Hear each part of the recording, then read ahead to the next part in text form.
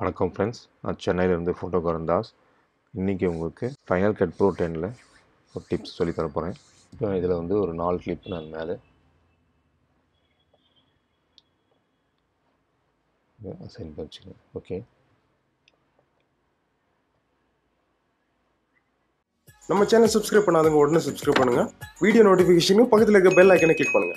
So ஒவ்வொரு கிளிப்பும் நான் வந்து டைம்லைனில் ஒரு ஃபிஃப்டி பர்சன்ட் வச்சு நான் ஒர்க் பண்ண போகிறேன்னு வச்சுங்க. ஸ்கேலில் ஃபிஃப்டி பர்சன்ட்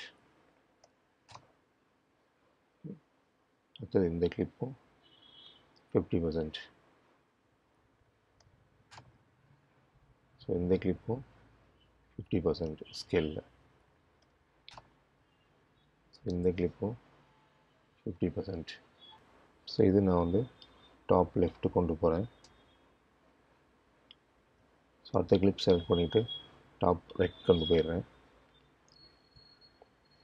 இது பாட்டம் லெஃப்ட் கொண்டு போயிடுறேன். இது பாட்டம் ரைட் கொண்டு போயிடுறேன்.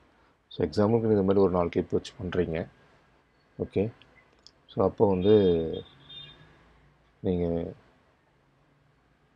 டோட்டலாக மேலே இங்கே ப்ளே பண்ணோம்னா டோட்டலாக நாலு கிளிப்பும் தெரியும். சிங்கிள் கிளிப்பு மட்டும் ப்ளே பண்ணி பார்க்கணும். இதை பார்த்தீங்கன்னா இந்த பிளேட் வந்து டோட்டலாகவே இருக்குது எனக்கு. ஓகேங்களா ஸோ அப்போ நான் வந்து சிங்கிள் கிளிப்பு மட்டும் ப்ளே பண்ணி பார்க்கணும் அப்படின்னா நீங்கள் இந்த வியூ பட்டனில்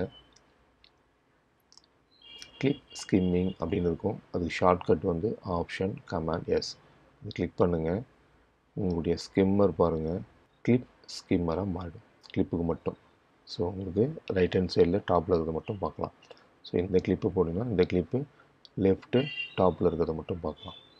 ஸோ இது பாட்டமில் இருக்க லெஃப்ட் சைடு கிளிப்பை பார்க்கலாம். இது பாட்டம் இருக்கிற ரைட் ஹேண்ட் சைட் கிளிப்பை தனியாக பார்க்கலாம். இதுக்கு பேர் வந்து கிளிப் ஸ்கிம்மர் அப்படின்னு சொல்லுவாங்க. இப்போ நான் ஒரு டைட்டில் வைக்கிறேன்னு வச்சுங்க